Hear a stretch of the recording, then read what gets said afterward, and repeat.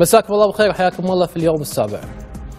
حلقتنا الليلة آه، شوي مختلفة عن إطار اليوم السابع. آه، في كل موسم أنا آخذ لي حلقة أو حلقتين عن الرياضه. آه، مع إني أنا ما أفهم فيها وايد، مع إني أنا يعني ما أتابعها بقوة وبشغف امارسها لكن يعني ماني مختص ماني خبير فيها. لكن الواقع الكويتي والواقع العالمي يقول إن الرياضة جزء أساسي من الحياة وجزء أساسي من الاقتصاد وجزء أساسي لمحاربه الأمراض السمنة أمراض ال- حتى كان جزء من حملات مكافحة المخدرات إنه يكون في تركيز على الرياضة. من هذا المنطلق ومنطلق إن التنمية لازم تكون إنها شاملة تشمل الاقتصاد والسياسة والثقافة والرياضه. أه، حقيقة يسعدني اليوم استضيف الكابتن السابق أو اللاعب الدولي وائل سليمان وهو غني عن التعريف، أنا ما أعرفه أكثر من أنه معروف أه، في اليوم السابع حياك الله أستاذ وائل. حياك. الله حياك الله أبو فهد طبعا أشكرك على هذه الاستضافة ويشرفني إني أكون ضيف عندك في هذا البرنامج صح. آه، المميز أبو فهد. أه، سؤالي عن الرياضه لازم يبدأ بما تنبأ فيه بهما عن خسارة نادي الجهر 4-0 وما صارت الخسارة هذه. شنو تعليقك؟ والله الخسارة 1-0 أو 4-0 نفس الشيء. آه، نفس الشيء إيه. بالأخير الجهرة يمكن كان يطمح أنه ياخذ يمكن حتى المركز الثاني ولكن في هذه الخسارة آه، آه، يمكن تراجع المركز الرابع وأعتقد أن أبو محمد يمكن تنبأ يمكن على معطيات معينة. هو طبعا لاعب سابق لاعب منتخب سابق. وأعتقد إنه قرأ المعطيات إن نادي الجهرة راح يخسر. وأنا أيضا توقعت الخسارة لنادي الجهرة. زين هل هذه طبعا هو هذا قشمره يعني لكن هل هذه التوقعات والتنبؤات يعني صايرة كأنها شيء معروف في الألعاب الدولية؟ والله شوف يعني إحنا إذا بنتكلم كرياضيين أو كان يعني كلاعبين أه، ندخل بطولات وندخل أه، معسكرات ونشارك في مباريات. في بعض ال- المباريات ابو فهد وبعض البطولات تعرف إنك خسران فيها قبل لا تدخل البطولة. أوكي. أو في مباريات يعني تعرف نتيجتها قبل لا تلعبها. وفي مباريات أو بطولات راح تقول إني أنا والله راح أفوز بهذه البطولة وفعلا تد- تدخل بالبطولة وتحقق نتائج ممتازة. ليش؟ بناء على معطيات سابقة من معسكرات من دوري من إعداد من مدربين من مشرفين. فهذه دائم تعطي آه، اللاعب أو تعطي الفريق تنبؤات أنها تكون موجودة والنتيجة تكون لا أقصد أغلبها معروفة مسبقا اللجوء اللجوء للمنبئين للسحرة. تذكر قبل لا والله يعني- كانوا يروحون حق سحرة يحطون شيء عند الجول وكذي. يعني هذه الأفارقة يمكن. مشهورين فيها طبعا إيه. اي يسوونها. يسوونها نعم. يسوونها يعني أنا خليني أقول لك حادثة يمكن من موضوع السحر ما السحر. آه، كنا في تصفيات آه، سيول بالكويت يعني كان الشهيد فهد أحمد آه، رحمة الله عليه مباراتنا مع العراق. فقال جمعنا قبل المباراة وقال آه، أنا جبت لكم آه، طبعا آه، صح. شغلة. إيه. لا شغلة إن راح تفوزون فيها. وكل واحد يلمسها. فطلع المسبح. مسبح. قال كل واحد يفرك بيده عشان نفوز. إيه. طبعا هي من باب الدعابة. إيه. ولكن أيضا إحنا يمكن أنا وعبد العزيز الهاجري أيضا ما كنا نؤمن بهالشغلات وكذا. إحنا الوحيدين اللي ما ما. وفزنا بالمباراة وسجلنا هدفين أنا وعبد العزيز الهاجري. فهذه من باب الدعابه. تكون إيه. فبعد المباراه قلنا حق الشيخ فهد رحمة الله عليه قلنا له شوف ترى سحرك باطل ولا تستعمله مرة ثانية. فهذه تكون مرات من باب الدعابة يعني. زين. أه، أبي أتكلم عن يعني وايد محاور أنا اليوم حاطها. أه، أبي أتكلم عن وضع الرياضة في الكويت. يعني أبيك أنت تفهمني. اليوم في ملاعب رياضية تتأجر بالساعة وهذه الملاعب مشغولة 24 ساعة يعني إن صح هذا التعبير ها؟ نعم. وبالويكند يمكن ما تلقى لك ملعب. و وهالملاعب على كثرها ما في حجز. ما ما, ما, تلحق وفوق هذا أنا عندي انتكاسة رياضية. يعني ان صح هذا التعبير لأن أنا ما افهم في الرياضة وايد. إنه والله ما عندي لاعبين اللي أقول عنهم لاعبين. شنو شلون أربط بين الصورتين هذول شو بداية فهد أنا خليني بس أضيف آه، معلومة على الملعب. المقدمة. أنك أنت قلت أن والله حاليا الرياضة جزء من ال- التنمية. من التنمية أو من من السياسة أو من آه، اقتصاديا أو كذا. أنا أقول لك لا أنا أتكلم عن عامل أساسي. مو جزء لا عامل أساسي لأن إحنا ما ننظر للعامل هذا أو الجزء هذا بس بالكويت. إحنا ننظر عليها عالميا تعتبر حاليا عامل أساسي. آه، مثل ما تفضلت فهد كلامك عدل وبالعكس يمكن كاستثمار يمكن نشوف أراضي حاليا. آه، أول كان الواحد يمكن يبني عليها عمارة خمس ست أدوار. صحيح. الحين لا. ترك المفهوم هذا اصبح أصبح يشترون أراضي ويأجرونها. وما ما نلقى يعني طبعا يمكن وقت فراغ واحد. مع أن فيه آه، أيضا أضيف المعلومة مع أن فيه وزارة التربية قاعدة تأجر ملاعب. آه، ملاعب الجمعيات التعاونية قاعدة آه، تسوي تسوي ملا- ملاعب وتجهزها وقاعدة تأجر اجارات رمزية. ولكن نشوف ما في إقبال، ليش أبو فهد؟ بدايه كوزارة تربيه وكجمعيات آه، تعاونية ما في اعلاميا انه والله عندنا عندنا ملاعب. أيضا وزارة التربية محكوره يمكن على فئة معينة يمكن اللي عاملين بالمدرسة أو اللي عاملين بالمناطق هم اللي عندهم بس ال- الفكر هذا. بعدين إحنا نشوف نشوف حاليا أبو فهد يمكن طبعا كرده فعل أولياء الأمور ما أصبح فيه آه، عامل جذب للأندية الرياضية. يمكن الصراعات كان لها دور كبير. يمكن بعض التصرفات ال- الشخصانية من بعض المدراء ومن بعض اللاعبين أو من بعض المدربين اللاعبين ونتكلم إحنا ما نتكلم عن الفريق الأول نتكلم عن المراحل السنية أعتقد إن في نفور كبير من واقع تجربتي من واقع من واقع اني اكون من قريب عند ال- ال- القطاع هذا في نفور كبير من الأولياء الأمور من النوادي. من النوادي ليش؟ عدم تعامل المدربين المراحل السنية أو المشرفين أو ال- الإداريين مع اللاعبين من ناحية آه، حسن الألفاظ من ناحية التصرفات من, من البعض اللا اخلاقيه آه، عدم الاهتمام. يعني تخيل أبو فهد الحين حتى الباصات أغلب الأندية وقفت الباصات. كان أول اللاعب كل فريق كان كمرحلة سواء غدم أو سلة أو يد كان عنده باصات ينقل اللاعبين إلى مقر عملهم وبالعكس آه، سكنهم البيت- من بالعكس. حاليا ما في أغلب الأندية ما فيها باصات. أيضا هذا عامل مؤثر ما أصبح إنه يخلي اللاعب يوميا يتمرن. أصبح ال- الطالب أو ال- الطفل متى يروح؟ يروح وقت وقت الفراغ أو بالعطل الرسمية يروح يقضي وقته بالملاعب هذه كون إنه ما عنده ضغوطات آه، يلعب على كيفه آه، ما يتقيد بمركز معين. أعتقد هذا زين خلينا خلينا اعيد مشكله أعيد كبيرة. نفس السؤال بصورة ثانية. نعم. آه، اليوم أنا أقول عن الكرة البرازيلية أن كل حي في البرازيل في لاعب كرة. نعم. ولاعب كرة متميز. نعم. أنا اليوم رغم هذه الملاعب الكثرة عندي رغم أن أنا اليوم مطلع على الهواء مباشرة أن أشوف أحسن الدو... كأس ودوريات أوروبا مثلا ها؟ فوق هذا مو قاعد أسمع أن عندي لاعبين بمستوى اللي أش- أسمع عنه في الدول الثانية صح؟ صح كلامك آه، 100% صح. آه، فهد إحنا إذا بنتكلم وبنرجع للذاكرة كانوا أغلب نجوم المنتخب الكويتي مو بس كرة القدم باليد بالسلة بالطائرة بالقدم المنبع مالهم وزارة التربية كم- كمدارس ومراكز الشباب. هذه مراكز الشباب والثانوية اللي لحق عليها اولا أبو فهد كانت الجماهير تحضر بالآلاف. وكانوا يختارون النجوم المميزين من مراكز الشباب هي الحاضنة الأولى. ويختارون من وزارة التربية. يعني أنا بالنسبة لي طلعت من مركز شباب الجهرة. نتكلم حاليا فهد الآلية اللي شلون تغيرت أو تغيير اختيار اللاعبين. إذا أنا بتكلم عن دور وزارة التربية. دور وزارة التربية لما يكون مثلا على سبيل المثال في دوري فصول بالمدرسة. المدرس شو يسوي؟ منو لاعب نادي؟ ياخذ لاعبين الأندية. دوري مدارس نفس الموضوع. دوري مناطق تعليمية. يتم إشراك لاعبين الأندية فما يعطون فرصة لمنو؟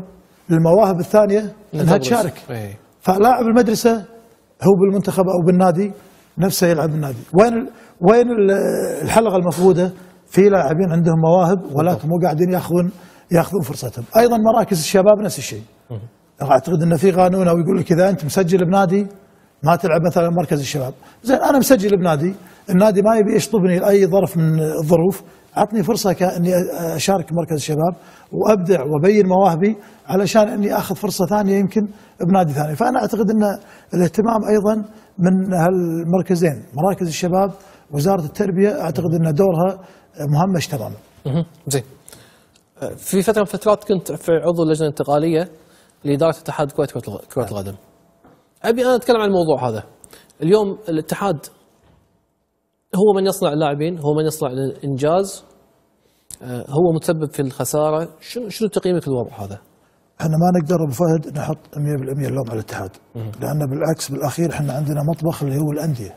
okay. الأندية دورها ما يكون مكمل الاتحاد يكون دوره مكمل للأندية. لكن الأساس الأندية. الأساس الأندية. من ملاعب من تدريبات من اختيار اللاعبين من آه، تجهيز الفرق من آه، أمور كثيرة. الاتحاد أيضا عليه دور. بس مو عليه دور رئيسي أيضا الاتحاد المفروض يكون عنده خطة معينة يكون نهجه واضح يكون عنده staff مدربين يكون عنده معسكرات يتم اختيار اللاعبين بطريقة ممتازة يتم اختيار مثلا حتى الكادر الطبي حتى الكادر الإداري حتى المشرفين. أعتقد إن هذه عملية متواصلة وأعتقد إن نتكلم عن 70 أو 60% الخلل بالأندية و30 أو 40% الخلل من اتحاد كرة القدم. زين. خلل الأندية هذا. ناتج من صراع سياسي من خلل في القانون من سلوكيات مثل ما قلت سلوكيات ال- المدربين أو ال- ال- المشرفين أو اللي لهم علاقة مع مع مع اللاعبين من وين؟ شوف أبو فهد نتكلم إحنا عن الخلل، الخلل طبعا راح نتشعب فيه وأموره متشعبة. إحنا بس لازم نتكلم أو نوقف عند شغلة مهمة وشغلة يعني فعلا هي طبعا الأساس. إحنا نشوف كثير من الناس بالمقابلات أو بالمناظرات أو بالبرامج التلفزيونية يقول لك نبي ناس رياضيين. والكل طبعا يتكلم، زين أنا هني شنو مفهومي للرياضي؟ حلو أنت لو تجمع اثنين يا أبو فهد تقول شنو مفهومك للرياضي؟ وشنو مفهومك الرياضي؟ ما راح تشوف ولا واحد يتفق على المفهوم بالضبط. الرياضي. مفهوم الرياضة بالكويت عندنا أنا موجود أجيب ربعي أعتبرهم رياضيين.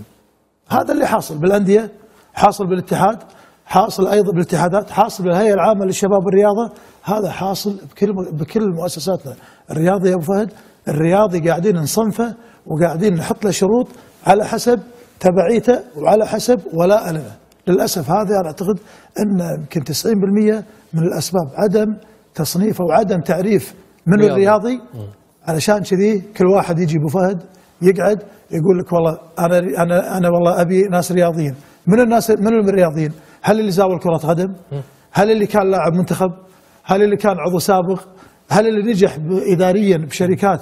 اعتبره أنه رياضي وإداري فأنا أعتقد أن التصنيفات هذه أبو فهد التصنيف الرياضي أعتقد أنه له دور كبير في تدمير مفهوم الرياضة وتدمير مفهوم الرياضيين وكل الأطراف التشابه للأسف أنها دائما تجيب الناس اللي ولائها لمجموعة معينة. زين هذا نفس الأزمة نعاني منها انه منو الإعلامي اليوم؟ الإعلامي اللي قاعد ورا الشاشة، اللي يكتب، المخرج إعلامي، مدير قناة مو إعلامي، هذه نفس الإشكالية. أبو فهد إحنا أيضا بنتكلم ما دام تطرقت حق هالموضوع، أيضا إحنا إذا بتكلم عن المجال الرياضي إحنا عندنا حاليا للأسف فوضى إعلامية رياضية وفوضى إدارية رياضية ما كنا نشوفها في السابق.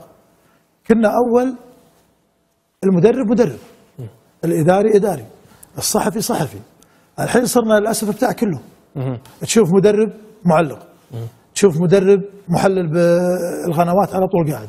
تشوف عضو اتحاد يحلل لي آه، دوريات آه، آه، أجنبية. تشوف معلق مراقب مباراة. تشوف رئيس تحرير مقدم مقدم برنامج. هذا هذا يعني شلون أبو فهد يعني عفوا أنا بكسب احترام. المشاهد شلون أبى أكسب احترام الجمهور؟ شلون أبى أوصل له أوصل لهم المعلومة اللي المفروض إني أنا اقنع فيها المشاهد؟ أنا أبو فهد المفروض ان كنت كمدرب دورك بالملعب. ما يمنع في لقاء معين نعم أجي أستضيف كضيف. أنا كمراقب مباراة. يعني تخيل مراقب مباراة. مراقب مباراة. معلق. عضو مجلس إدارة. تحلل لي بال- بالقنوات أنا أعتقد عندنا فوضى إدارية وفوضى إعلامية. يعني لابد إن كل واحد يحترم فهد تاريخه كل واحد يحترم إنجازه كل واحد يحترم الجمهور يحترم عقل الجمهور. يعني صارت الرياضة مهنة من لا مهنة له. إحنا ما نتكلم هنا ملا بس أنت يا صاحب الاختصاص خليك في مجال عملك عشان الناس تحترمك. بالإضافة إلى الشغلة هذه نشوف طبعا الألفاظ يا أبو فهد نشوف الغلط نشوف أنا بإمكاني الحين أقعد بهالبرنامج هذا. وما عندي مثلا سي من الناس لأن ما في تكافؤ فرص أقول لك يا أبو فهد في وفي وفي وفي وأقدر أستغل الفرصه بس أنا من باب إنه كمنطلق ان يكون في حيادية ما أقدر أتكلم عن شخص مو موجود. إلا إذا يكون له حق الرد علي ويفند ادعاءاتي okay. بكمل هذا الحوار بس بعد فاصل ففاصل وراجع لكم.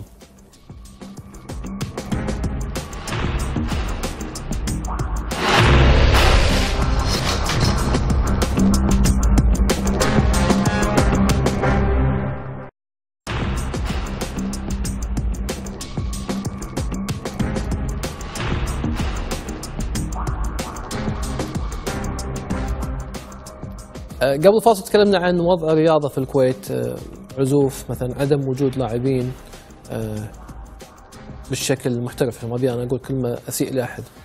آه، مع كابتن وائل سليمان. وقبل لا أبدأ هذا الحوار الثاني من ال... أبي أشير للنقطه أن تحمد له بسلامه أن أمس كان مريض كان تعبان ويانا اليوم ما قصر. الله يسلمك آه، وكعاده الجهراوية ياب معاه حلو. ويعني عادة سهلون يا أبو. الله يسلمك. عادة ما حد يسويها يعني نادر هالأيام. إنه ما ي- ما يجي ايده خالية صراحة وايد اثرت فيني العافيه فهد تكلمنا عن الأندية وقلت أول شيء أول سبب إنه تنفيع شخصي كل واحد يجيب ربعه ويعتبرهم رياضيين. زين. اليوم أنا عندي آه، محاولات لتطوير الأندية. قانون صوت واحد عندي خصخصة الأندية. آه، يعني هذه غربلة قاعد تصير حق الأندية. وعندي موضوع ثالث اللي هو الاستثمار في الأندية. أو نفس نفس الموضوع. هل هذا ممكن ينفع يطور أداء الأندية؟ فهد إذا إذا أنت تبي آه، تصنفها آه، كنقطة نقطة. إحنا أول شيء نتكلم آه، عن عامل رئي- رئيسي وعامل مهم اللي هو طبعا اللي أنا أسميه الإن- الانحراف الجزئي ما أسميه احتراف جزئي أنا أعتقد إن هذا يعني سوى تدمير 80% من الأندية من أغلب الأندية. الاحتراف الجزئي. لأن الاحتراف الجزئي ما عليه اسس إحنا نعرف إن أي نظام أبو فهد لما يتم تطبيقه يكون لمدة سنتين ثلاث سنوات يعاد تغييمه بالضبط. ويكون في نعالج السلبيات ونطور الإيجابيات. بالضبط. للأسف إحنا حاليا نشوف طبعا والكل طبعا ما يخفى عليه طبعا بالإعلام ان في تلاعب كبير بال رواتب ال- الاحتراف الجزئي من أغلب الأندية.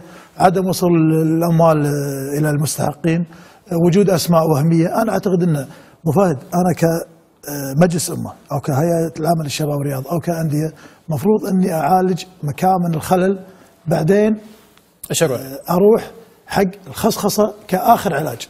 ولكن لما إني أنا أبو فهد أقول والله إن الوضع الرياضي أو الأندية أو الاتحاد أو ايا كان إن وضعها مو زين وكذا وكذا وأروح أقول أجيب الخصخصة أو أجيب الصوت الواحد. يعني أنا أقول لك الصوت الواحد إيش راح يسوي؟ إحنا عندنا يمكن مثال كبير الجمعيات التعاونية. تم تطبيقها بالجمعيات التعاونية أعتقد ونفس ال- نتيجة. نفس النتيجة. ما في أي تطوير. نعم أنا ويا الصوت الواحد ولكن هل الصوت الواحد راح يطلع الأكفأ؟ أنا أشك في حال وجود العدد هذا أو العقلية هذه من بعض الجمعيات العمومية إنها ما راح تطور إذا إحنا نتكلم عن الخصخصة أبو فهد ونتكلم عن حلول أنا أعتقد إن في حلول أبو فهد يمكن رجل الشارع يمكن يطرحها. أنا أقول كمجلس أمه أو كهيئه عامه الشباب والرياضة مفروض أول شيء الاحتراف الجزئي إذا أنا بقضي على 80 أو 70% من المثالب ومن العيوب اللي فيه أول قرار مفروض إن آه، أموال الاحتراف الجزئي فهد تروح من الهيئة العامة للشباب والرياضه إلى حسابات اللاعبين مباشرة.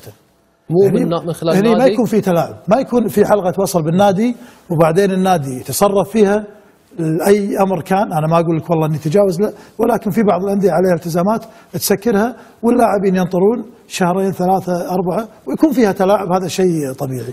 الأمر الثاني أبو فهد المفروض إن كل كل نادي يتم تخصيص له من خمس إلى ست لعبات معينة. تعال يا نادي الساحل. لك خمس ست لعبات آه نعطيك ميزانية. تبي سبع تبي سبع, سبع لعبة؟ هذا أنت تتحمله إحنا ما نعطيك. يا كلاعبين كلاعبين فهو فهو بالتالي يركز على اللعبات اللي يركز على اللعبات متميز فيها. المنتجه ويختار المشرفين الممتازين ويختار المدراء أصحاب أصحاب اللعبة. فما يكون الاختصاص. على كل اللعبات. فما تكون العملية مفتوحة ويتم تركيز على خمس ست لاعبين. آه، تسجيل اللاعبين مفيد خلينا نتكلم عن كرة السلة.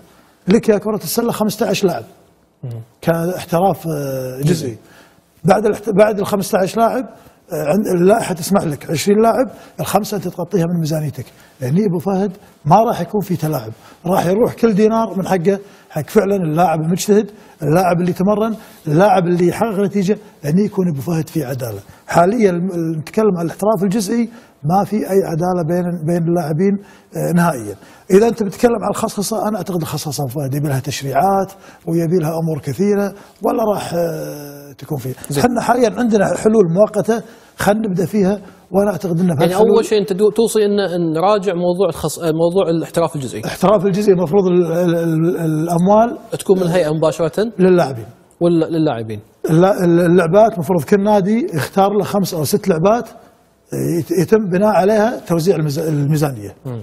تسجيل اللاعبين يكون في ال- فلوس الاحتراف الجزئي العدد معين للاعبين فما فوق هذا يتحمل النادي. هذا بالنسبة لبعض الملاحظات وأعتقد إن في ناس أخبر مني وأحسن مني أعتقد بعد عندهم حلول كثيره. خليني أقارن بالوضع الدولي شنو الوضع الدولي بالنسبة حق ال- الاحتراف من هل في؟ مقارنة خلينا نقارن من الوضع الخليجي لا ما ما ما شوف ما في شيء اسمه احتراف جزئي ما في شيء. وبعدين ابو فهد أنت بتتكلم عن احتراف جزئي. مو بس اللاعب اللي قاعد يلعب يتعب. الإداري قاعد يتعب المشرف قاعد يتعب آه، مساعد المدرب قاعد. يتعب. مو معقوله أنا والله عندي لاعب ياخذ 400 دينار والمشرف ياخذ له 100 دينار. أو مساعد المدرب ياخذ له 200 دينار. أعتقد هذه بعد أيضا ما فيها عدالة. الاحتراف ابو فهد ما في شيء اسمه احتراف جزئي. ولكن إحنا نقول ما دام انه على ما قالوا الجود من الموجود شيء أحسن من لا شيء. على الأقل نحاول نغني ولكن إذا إحنا بنتكلم مفروض الاحتراف يكون مفهوم كامل من حكم مباراة من من مساعد مدرب من مشرف من إداري من لاعب. أعتقد هذه تكون المنظومة هذه- تكون متكاملة وما تتجزأ لأن متى ما تتجزأ الشيء أبو فهد ما أعتقد راح نوصل نتيجة لأن كل عامل مهم لاعب مدرب مشرف حكم. أعتقد إن هذه من مقومات النهوض بالرياضة. أنت قاعد تتكلم عن صناعة رياضة اللي صناعة رياضة. صناعة رياضة. نعم. إن نعطي الصناعة هذه حقها. نعم. مثل ما في صناعة سينما مثل ما في صناعه في أي صناعة. فهد لأن كل شيء متوفر عندنا. كمادة متوفر عندنا. كناس خبراء آه، عندهم فكر متوفر عندنا. اداريا في عندنا نملك ناس اداريا من أحسن آه، يمكن العقليات باسيا ما أبي أقول بالعالم ولكن باسيا كفكر وك- وكتطوير. زين. الاستثمار في الأندية. يعني اليوم شو يمنع ان أنا أحط مثلا مطاعم الاستثمار؟ بال- شوف أبو فهد نتكلم عن الحالة السابقة أنت ومعرفتك أوكي. بالبلدية أو بالهيئة أو بالتجارة أنت مجهودك. انت, ومجهودك ونفوذك. اي في ناس يجيبون ترخيص في ناس ما يجيبون ترخيص. شلون طلع الترخيص هذا النادي معين؟ وشلون ما طلع النادي معين؟ ما ما تدري. يعني بيوم وليلة مثلا تشوف انشاء مثلا مطعم معين بنادي آه، معين أي مثلا نادي. بيوم وليلة تشوف مجمع تجاري. ما في آلية. ما يعني يعني إحنا شو نقول؟ نقول الهيئة تقول لك والله ما في قانون استثمار. ما تم الموافقة عليه. ممنوع. بعدين بعد شهرين ثلاثة تشوف والله منشأة موجودة بنادي معين. شلون طلعت؟ الله العالم. ومرخصة وفيها كل شيء. وأعتقد إن في أندية يمكن القادسية والعربي والكويت. الكويت. أعتقد استفادوا من فترات طويلة بالاستثمار وأنا أيد بالعكس. أنا أيد أبو فهد. إذا في. إد... لا عفوا إذا في إدارات فعلا ناجحة ومنتجة وفعلا ناجحة بألعابها لأن هذا راح تنجح بالمنشأة التجارية. ولكن أيضا الأندية اللي مو قاعد تحقق نتائج شيء طبيعي إنها ما راح تدير آه، المنشآت لأنك أنت كنادي دير لعباتك وسو يعني وحقق تقدم في لعباتك وخل نتائجك ممتازة علشان تدير المنشأة، حاليا أبو فهد المنشأة مو عملية اني والله أنا أجيب لي مستثمر يأجل ويمشي، المفروض إن أنا كنادي أستثمر أسوي لي مجمعات، أسوي لي آه، مطاعم، أسوي لي عمارات سكنية، حتى العمارات السكنية أبو فهد لما أنا كنادي ويكون عندي فكر كإدارة المفروض إني أنا أبني لي على الأقل بالمساحة اللي موجودة أبني لي عمارة سكنية وأسكن فيها المدربين أسكن فيها اللاعبين المحترفين. لأن هذا أبو فهد أنت ما تدري كسنويا إيش كثر تأخذ من ميزانية النادي. هذا فعلا الناس اللي تبي تستثمر. مو والله يقول لك أقول له افتح باب الاستثمار بأجر على مطعم وبجيب لي مؤجر وا- وأخذ منه خلو وباخذ منه أجر سنوي، أعتقد إن هذه عقلية قديمة وأعتقد إن هذه العملية تحتاج تطوير ومفاد التطوير مثل ما قلت لك. ما يكون بس بالملعب، التطوير بالمنشآت، التطوير بآلية الانتخابات، التطوير بالتعامل مع اللاعبين، التطوير بالاحتراف الكلي اللي يشمل جميع عناصر النجاح بالفريق. زين. اللي قلته آثار فيني المواجع. إن شلون نادي ياخذ ترخيص ويبني منشأة تجارية كاملة وواحد ما يحصل. بس رجعت على نفسي وقلت هذا الكويت طلع النبي. نعم. هذا الكويت. صح هذا نعم. خليني أقول على الخصخصه اليوم يعني اليوم الإندستري هذه الرياضية مثلا في لندن أو في أسبانيا خصخصة قبل الخصخصه أنت كتاجر كصاحب نفوذ تشتري النادي تبيه وتمارس اللي أنت تبيه. وفي جمعيه عموميه تحاسبك نعم. وصارت صناعة. نعم. وصناعة شيء خطير يعني. ليش ما إحنا نقبلها اليوم كتجربة ناجحة؟ شوف أبو فهد؟ يعني إحنا نتكلم اولا من منظورين. نتكلم عن سياسة الدولة وزارة الشباب والإعلام ونتكلم عن الهيئة العامة للشباب والرياضة قطاعين الشباب هني والشباب هني. حاليا إذا أنت بتسوي الخصخصة الشباب وين راح يروحون؟ بعدين أبو فهد أيضا أرجع وأقارن. أنتم كحكومة أو كهيئة عامه للشباب والرياضة منو الشباب؟ لا 30 هل في فئات من اللي يقول انه من 33 هل في هل في مثلا قانون يقول والله الشاب ل 30 إحنا هني 20 يقول لك شيبت. نوصل 25 قال لك شيبت. نوصل ل 30 قال لك شيبت. فإحنا للأسف نفس الشيء. نرجع ما عندنا تعريف من الشباب. هل هو والله سن البلوغ؟ لغاية متى؟ هل هو سن الزواج؟ هل هو إذا اشتغل؟ فايضا أبو فهد إحنا لما نتكلم عن الخصخصة الخصخصة أبو فهد أنت لما تمسك نادي ك كأونر كمالك. كمالك. ما راح تاخذ آه، فريق الغدم على سبيل المثال. فريق أول ورديف و20 و19 و17 و14 و12 ما تقدر. راح آخذ واحد. راح تاخذ واحد ويمكن فيه. تاخذ الرديف. الفئة هذه اللي تكلمت عنها اللي أعمارها من من 10 سنين لغاية أعمارها 20 سنة هذه وين تروح؟ تروح نادي ثاني. وكل الأندية أنت تتكلم عن خصخصة راح. تشمل الأندية كاملة. الأندية هذه مثل ما قلت لك راح تركز على شنو؟ راح تركز على الغدم وما راح تركز على كل اللعبات. راح تختار ثلاث إلى أربع لعبات فقط. وبالفريق الأول بس. الشريحة هذه من كل من كل فئة أبو فهد من 10 سنوات لغاية 19 سنة. والأعداد كمية هائله كل نادي فيه 50 100 أو 200 آه، 200 شاب. هذول نعم. وين يروحون أبو فهد؟ هل يروحون بالشوارع؟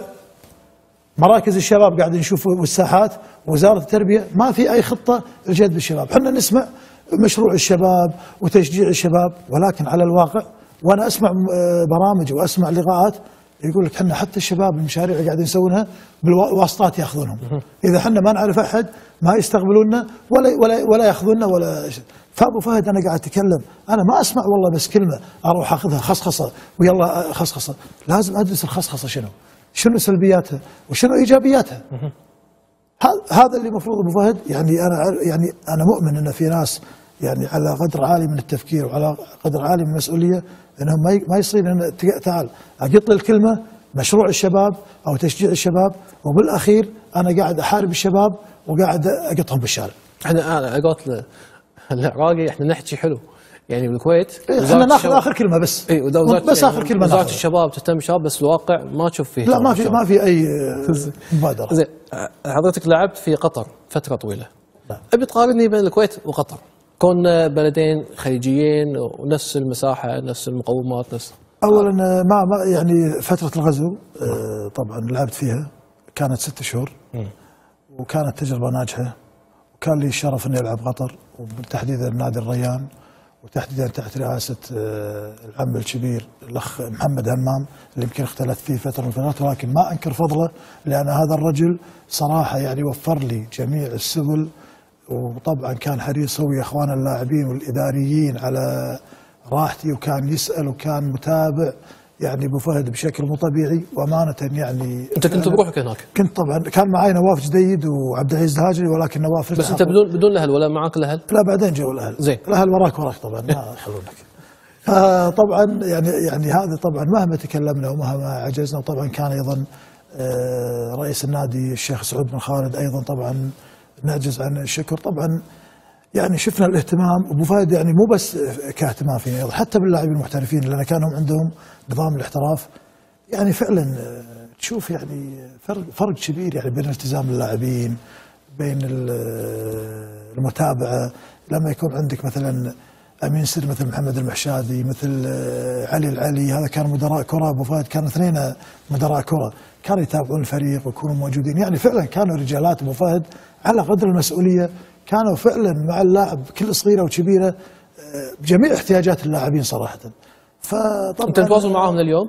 شلون؟ متواصل معاهم لليوم؟ والله غليل يعني مو زين مو من عادي. 90 لليوم ل 2015 شنو القفزة اللي صارت بالرياضة القطرية؟ شوف أبو فهد إحنا نتكلم عن ال- الرياضة القطرية طبعا أنا ما أقيم الرياضة القطرية الإخوان قدموا إنجازات عالميا كسمعة وكمباني وكمنشآت وكبطولات من أروع ما يمكن. وهذا طبعا الهدف اللي هم يطمحون له. وكل واحد يطمح حق هدف معين إني والله إني ببني وكذا. في في هدف عندي معين وأعتقد إنهم حققوه وحققوه بامتياز. والدليل أن استضافتهم لكأس العالم 2022 إن شاء الله. وأعتقد إنها راح تكون الدورة هذه من أنجح الدورات. إذا إحنا بنتكلم فهد عن نتائج أنا أعتقد إن النتائج لا زالت على الت- ال- البداية المبكرة وعلى الميزانيات اللي صرفت أعتقد كنتائج أقل من الطموح بكثير. إذا بنشوف كمنتخبات مثلا الغدم أو الطائرة أو كذا، طبعا نتكلم عن تجنيس حق مكتسب لكل دولة ولكن أيضا أنا أستانس لما أشوف مثلا منتخب أغلب لاعبينه لاعبين قطريين بالفعل بالأصل. أنا أستانس كمواطن قطري أو كم- كمواطن خليجي وأقول فعلا هذا المنتخب القطري أو البحريني أو كذا بجهد ابنائه حقق ولكن أنا يعني وهذه وجهة نظري طبعا ويحترمها طبعا ايا كان ويختلف فيها ايا كان. ما حققت على مستوى البطولات الغارية أو المحلية أو الخليجية حتى لا زالت أعتقد إن النتائج تحبو نوعا ما. امم زين على موضوع التجنيس. يعني أنا ما ما أعرف وايد لكن أعرف إن في منتخبات أوروبا في لاعبين من تركيا في لاعبين من دول ثانية هل في نسبة والله مقبولة معقولة من هاللاعبين؟ أنت تتكلم كقانون مثلا؟ كقانون كعرف والله كقانون ما فيه. يعني في كقانون في شروط معينة إنه ما يكون ما يلعب ما كان لاعب منتخب آه، ثاني فمن حقك إنك أنت تجنسه وتلعبه ولكن إحنا نتكلم فهد في بعض مثل ما تفضلت آه، كونك متابع رياضي أنا أدري بس لا. تسوي نفسك ما ترجع ما الرياضه له علاقة. ففي بعض يعني شفنا يمكن حاليا أوكرانيا سويسرا قاعدين يجنسون بعض اللاعبين اللي يحتاجونها في مراكز معينة. وهذا ما يهم بالعكس يمكن الكويت من أوائل ال- ال- الدول يمكن عالميا اللي جنست. سبقت الناس اللي جنست اللاعبين وهذا مو شيء مو شيء غلط صراحة. زين. لما تقول لي والله منشآت و- وقاعد تتعب المنشآت أنا كمشاهد بسيط أو يعني كمحاور أقول والله أفريقيا ما عندها منشآت وايد. فوق هذا عندهم منتخبات على مستوى عالي. هل هذا صح ولا لا؟ أنا ما أتكلم عن نتائج أبو فهد. أنا إيه. أتكلم إذا أنت بتستضيف احداث كبيره لازم عندك لا لازم يكون عندك منشآت ويكون عندك بنية تحتية ويكون عندك طاقات ويكون عندك على أساس لما تسوي presentation لأي بطولة يكون أعضاء الاتحاد الدولي ايا كان لعبة يشوفون ال presentation يشوفون الملاعب يشوفون التجهيزات وبناء عليه يعطونك الاستضافة أو إنك تدخل كمنافس. بس هذه ما لها علاقة بالنتائج. ما لها علاقة إذا أنت بالنتائج. بتتكلم عن نتائج لا، هذا موضوع أبو فهد. موضوع المادة وموضوع المنشآت وموضوع ال- الأمور الثانية أنا أعتقد هذه شماعة إن والله الأسباب الحقيقية إن والله إحنا ما عندنا منشآت وما عندنا مادة. تبي تتكلم عن النتائج نتكلم عن المادة المادة موجودة أبو فهد. بجميع الاتحادات بالكويت جميع ال- الأندية الأندية المادة موجودة ولكن الفكر والإدارة للأسف مو موجود فهذا اللي قاعد يخلينا زين. ما نتقدم. قارني يعني منشآت الكويت مع منشآت دول الخليج. قول لي أنا قول لي أنا مثلا الخامس السادس الأول. لا إحنا حاليا آه، يعني شو أبو فهد؟ آه، إحنا يعني شيء يرتبط بشيء. أنت تبي تتكلم أتكلم عن المنشات من أي ناحية؟ تأثيرها على النتائج مثلا؟ هل أنت تبي أقول لك والله إحنا ما عندنا إحنا ما عندنا مثلا نتائج بالمنتخبات لأن ما عندنا منشآت؟ هذا طول العمر ما النتائج آه، ما ارتبطت بالمنشآت. بالضبط. النتائج كان ما- كان ما- يلعبون رامون وكان يبون كأس الخليج و... إحنا ما نتكلم عن إحنا أبو فهد خلينا نتكلم هني حاليا مثل بسيط. إحنا إذا بنتكلم عن المنتخب السوري نتكلم عن المنتخب العراقي نتكلم عن المنتخب الأردني هذول الناس المحيطة فينا أبو فهد. نتكلم عن المنتخب البحريني. كماديات اغل وكمنشات اغل وكدعم اغل ولكن شوف ال- النتائج شوف الإصرار شوف العزيمة. إذا بنتكلم عن مواهب أنا أعتقد الكويت من أفضل المواهب اللي موجودة بآسيا. ولكن يبقى طريقة التعامل استقطاب. مع اللاعبين والاستقطاب مثل ما تفضلت.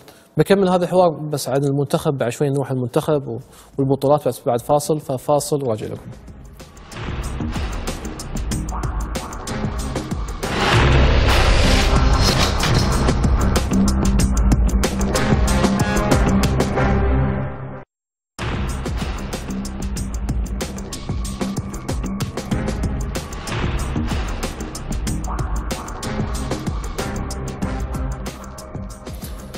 قبل الفاصل تكلمنا عن دور المنشآت والنتائج. وهذا أنا كنت مؤمن فيه أشوى أن الكابتن أيدني فيه. يعني أنا ما أتابع ما أعرف لكن أيدني فيه إنه ما له علاقة المنشآت في النتائج. العلاقه بين المنشآت والتنمية إني أستضيف مثلا بطولات عالمية إني أجيب ناس تشوف إني يكون عندي شيء يعني على مستوى عالي. يعني شوف أفريقيا قاعد تفوز في دول أفريقية ما عندها منشآت. منتخبنا قبل كان يلعب ساحات رمل وفوق هذا يحقق نتائج أبي أتكلم ما دام وصلنا عن منتخبنا عن تجربتك مع المنتخب. أبي أنا أعرف كشخص بسيط شلون دخلت المنتخب شوف أبو فهد إحنا إذا بنتكلم أنا أوجه كلامي للاعبين الفرق الصغيرة.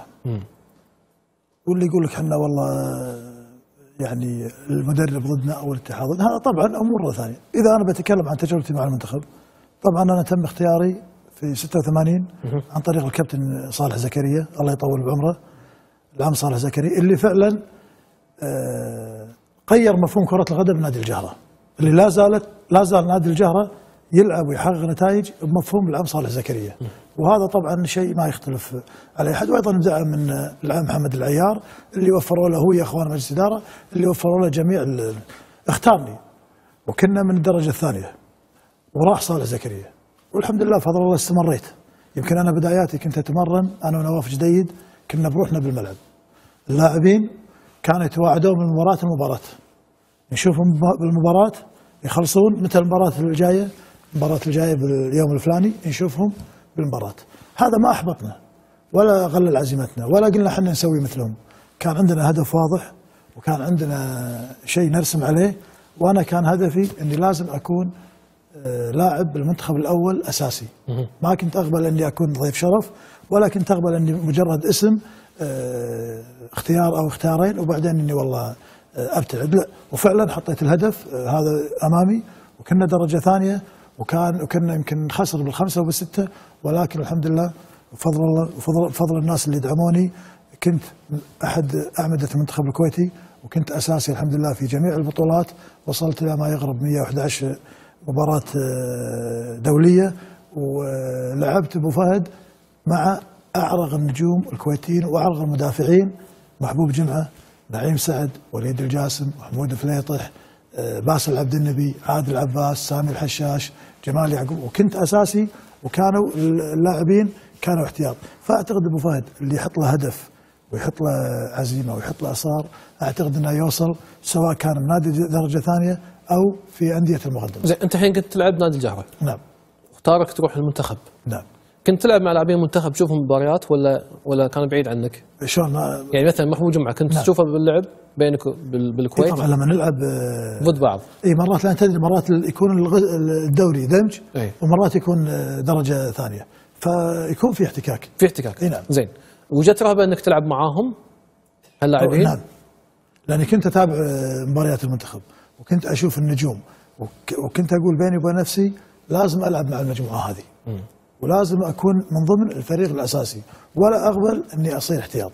وفعلا الحمد لله يعني قدرت أحقق الهدف اللي أنا ما تحس إنه ضغط إنك أنت تلعب يعني تحت آه اسم المنتخب؟ آه، نعم حصلت ضغط.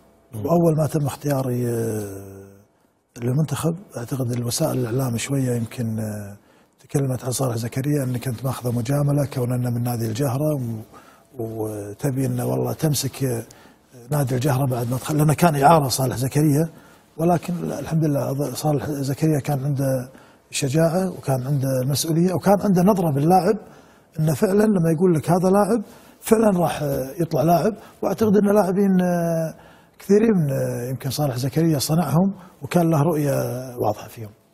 زين حققت بطولة الخليج سنة 90 ش- هذه قبل الغزو قبل الغزو. شنو ردة فعلها؟ يعني اللي ما يعرف ذيك الفترة اللي ما يتابع. آه، طبعا إحنا من آه، نتكلم عن أبو فهد إحنا للأسف آه، يمكن من بداية المنتخب من بداية تأسيس منتخب الكويت لغاية خلينا نقول اليوم تقريبا بحدود عندنا 40 مدرب. تقريبا كإحصائية أنا سويتها ذاك اليوم شفتها. يعني بعد مو سنة تسع شهور ثمان شهور. من غيره. من غيره. هذه كمعدل عام. طبعا أيضا دورة الخليج. كان آه، قبلها بطولة الصداقة والسلام وكنا مهيئين للفوز وقدرنا نحقق المركز الثالث ما قدرنا آه، نفوز بالبطولة. بعدها طبعا دخلنا في آه، معسكر ال- المنتخب لدورة الخليج. أيضا تم تغيير المدرب. قبل البطولة يمكن بشهرين أو شهر تقريبا تم الاستعانة في لبس كولاري.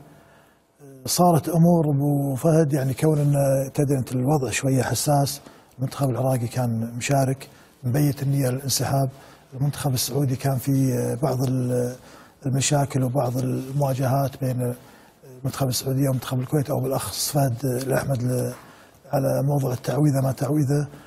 تم الانسحاب أصبحت الأجواء مشحونة أبو فهد. على أرضنا بين جمهورنا آه، تحدي آه، بين الشيخ آه، فهد الأحمد وبعض الدول على الفوز بالبطولة. يعني دخلنا بجو أمانة شوية مشحون. كان مشحون. آه، تغيير أيضا المدرب يعني كنا مستغربين مع المدرب وشوية يعني تعلمنا طريقته.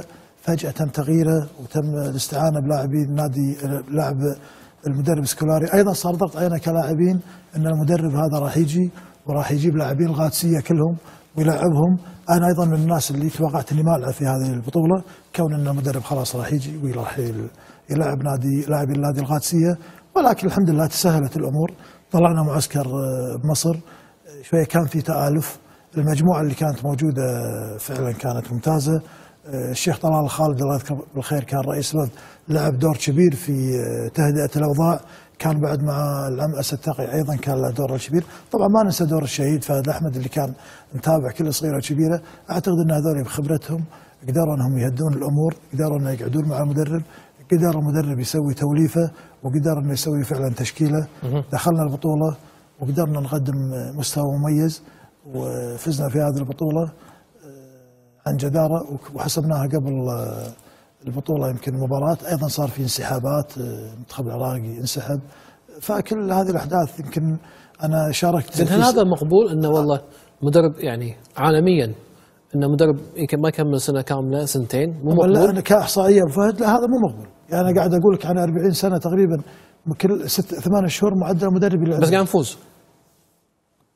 أنت قاعد تفوز طبعا تحققت في حقبة معينة اللي هي أيام كارلوس من 79 لغاية 82 هذه حقبة طبعا استثنائية. استثنائية. لأن لاعبين مستقرين لاعبين نجوم في صف ثاني أحسن من الصف الأول. استقرار إداري واستقرار فني طبعا هذه آه، شيلها آه، تشيلها كون إن كل الظروف كانت آه، مواتية إنهم يحققون هذه النتائج. بس عالميا مو مقبول إنه لا طبعا شيء طبيعي. عالميا مو مو مقبول يا أبو فهد. لا يعني نتكلم إحنا عن ألمانيا أبو فهد. من يمكن تأسست كرة القدم أو من تم إنشاء منتخب لغاية الآن يمكن سبع أو ثمان مدربين المعدل يمكن من ثمان إلى تسع سنوات كل مدرب تقريبا يعطونا فرصته يعطونه فرصة نعم زين شو تقيم اليوم الأزرق اليوم في الفترة الحالية؟ شوف أبو فهد آه، إحنا أنا مثل ما قلت لك بداية الحوار أنت أي بطولة أو أي مباراة تدخلها تشوف اللي الأعداد اللي قبل هل هو الأعداد مميز؟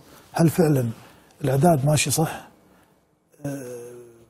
الوقت هذا تقيس أو تبني نتائجك على المعسكر على الالتزام على اختيار اللاعبين. اللي أنا أشوفه وهذا رأيي الشخصي يمكن أحد يختلف معي من الاتحاد أنا أقول ما ما تم تغيير أي شيء. لا بالآلية آلية اختيار اللاعبين لا بالأداء لا بالمدرب ولا طريقة المدرب. يعني أنا ما ودي إني أتكلم عن المدرب ولكن ما دام استضفتوني وتطرقت حق الموضوع أيضا من حق الجمهور إنه يعرف رأيي. طبعا أنا أحمل النسبة الكبيرة للاتحاد الكويتي. لكرة القدم لأن المدرب مو هو المفروض يحط شروطه المفروض الاتحاد الكويتي يحط شروطه وفق مصلحة المنتخب. ولكن يا أبو فهد إن مدرب يقعد برا الكويت يكون محلل غنا- قنوات معينة آه، ما يتابع الدوري ويقول والله مساعديني نعم مساعدين. هذه متى تحصل أبو فهد؟ لما يكون أنت عندك منتخب محترف. لما يكون عندك منتخب محترف نعم أنت يا مدرب فعلا تقعد وين ما تقعد أوكي ويكون في عندك مساعدين والمساعدين فهد المفروض يروحون ويتابعون.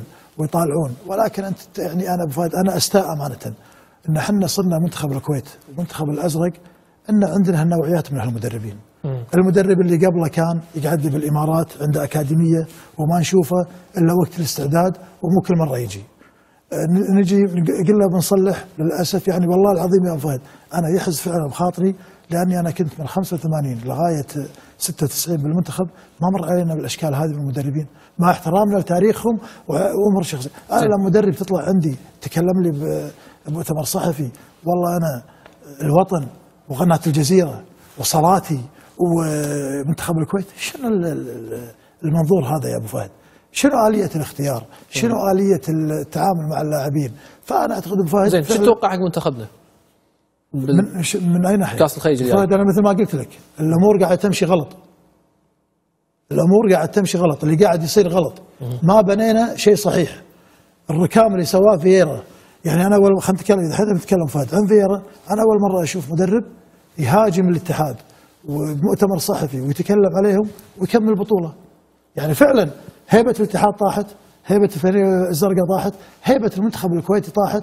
وأعتقد إذا بيستمر الحال هذا أنا راح إذا راح يصير شيء راح يكون اجتهادات فردية لا أكثر ولا أقل. مو خطط. مو خطط لأن إحنا أبو فهد يعني عفوا أنت يمكن تتكلم إنك بعيد عن الرياضة، هل أنت شايف خطط كونك بعيد عن الرياضة؟ هل أنت شايف هدف واضح؟ هل أنت شايف معسكرات؟ هل أنت شايف اختيار فعلي أو اختيار حق اللاعبين؟ ما يخاف صلحني إذا أنا غلطان حتى اللعب قبل في الحقبة الذهبية كان ما كانت الخطة يعني وايد مرسومه نفس ما اليوم إحنا قاعد نشوفها مع مع برشلونة ومع ما مع إحنا ما النوادي نتكلم هذه. خطه داخل الملعب ها إحنا ما نتكلم تحكي أنت عن تأسيس. أوكي. أنت ما تجيني عفوا تأسس لي تعد لي إعداد منتخب لمدة شهرين أو لمدة شهر وتجيني بالمباراة. والله ليش خسرت؟ والله ضيعت كرة. والله المفروض اللاعب اللاعب غلط بالكرة. هذا كلام يا أبو فهد محبط. هذا كلام الإنسان مع خالف احترامي الفاشل. قلنا ونعيدها. إذا أنت بتفوز ببطولة أو مباراة لازم يكون عندك إعداد صح علشان تفوز لأنك لو عديت صح اللاعب هذا ما راح يضيع الفرصة. زين إيش رأيك باللي قالوا إن ملاعبنا ما تصلح لاستضافة كأس الخليج أو اللجنة الخ- الخليجية؟ فهد ملاعبنا ما تصلح حتى حق الدوري. حتى حتى حق الدوري ما تصلح. نتكلم أبو فهد عن ال- الملاعب الأرضية. يعني أنا ماني عارف يعني يعني أنا اتفاجئ ذاك اليوم بملعب الجهرة زرت اللاعبين. يعني صراحة استانست نوعا ما ولو إني شكيت. إن الأرضية والله خضراء. لون. إي يعني أنا قلت والله مش هالمهندس اللي بيومين لأني حاضر مباراة السيب كانت آه، الأرضية تعبانة. قال لا والله الهيئة جو آه، وصبغوا الملاعب. هذا أبو فهد إحنا وين قاعدين؟ بأي زمن إحنا قاعدين يا أبو فهد؟ أنا أجي أصبغ أرضية ملعب. يعني أنا ماني عارف هل هذا فعلا فكر ناس مسؤولين عندنا بالدولة؟ إحنا نتكلم أبو فهد إذا أنت كاتحاد قدم وإذا أنت عندك لجان انضباط وقاعد تمشي بنظام احترافي. إذا طبق الاحتراف كله. يا إنك ابو فهد طبق النظام الاحترافي كله أو إنك ما تجزئه مو مع يعني الحين أنا أسمع برنامج آه، اليوم وأنا جايكم بالطريق. أحد الأخوة اتصل- في برنامج رياضي. قاعد يقول له أنا بروح الملعب. يقول رحت الملعب كراسي مغبره يقول أول مرة وآخر مرة بدش الملعب. أنت كاتحاد مفروض يا أبو فهد تدش مثل ما عندك مراقب إداري وعندك لجنة انضباط وعندك مراقب مباراة وعندك مراقب حكام أجي أحط لي مراقب مثلا على الخدمات ادش النادي مثلا شنو الخدمات المتوفره للجمهور؟ شنو الخدمات المتوفره حق الصحافة؟ شنو الخدمات المتوفره حق اللاعب اللاعبين اللاعبين الضيوف أو الفريق الضي- الضيف؟ إذا النادي ما يلتزم في معايير معينة أنا أمنع أنه يكون في لعب على الملعب هذا تقول لي والله قله ملاعب. هذه مشكلتك. لأن أبو فهد خلينا نشوف الحين. بعد ال- اللجان الانضباط بعد لجنه الانضباط ولو إني أنا لي مآخذ كبيره على الانضباط وعلى ال- المفروض أول شيء أبو فهد يكون في توعية بعدين أطبق القانون. ما أجي أطبق القانون على على طول. مثل ما إحنا شفنا بعض الأندية أو بعض اللاعبين الإداريين شوية مسكوا نفسهم عن التصريحات. صدقني لما تحط قانون أو لما تحط آه، انضباط على الخدمات اللي موجودة صدقني النادي راح يوفرها. والدليل أبو فهد نادي الجهرة أول ما وافقوا على مباراة السيب بيومين حطوا الصحافة فوق والكاميرات فرشوا كل شيء زل. عز الله يعزك تكرم الحمامات كلها سووها. هذا مثال بسيط ومثال هذا أقل شيء. يعني أنا للأسف لما تقول لي أنت كذي أنا حضرت مباريات مثلا في بريطانيا مثلا أو في أمريكا. في مكان تشتري منه ماي. تشتري على الأقل مثلا. وجبات. وفي شو وفي ملابس وفي يعني تستمتع هالساعتين اللي تقعد فيهم ما نبي, ما نبي الشيء هذا عفوا إحنا نبي كرسي نظيف. إيه. بس هذا الم- الم- المتفرج يبي كرسي نظيف يقعد عليه. آه، الوقت مر معاك بسرعة. حديثك في شجون رياضي قوي بس إن شاء الله في أمل. إن شاء الله يعني مع شاء يعني الله. إن شاء الله. نبي نشوف نتائج هالأمل. إن شاء الله. شاكر وجودك معنا اليوم رغم الإصابة رغم المرض ما تشوف شو كابتن. إن شاء الله ما يجيك. آه، إضافة جميلة اليوم السابع ما قصرت. إحنا مستمرين معاكم بإذن الله تعالى. نشوفكم على خير في الله.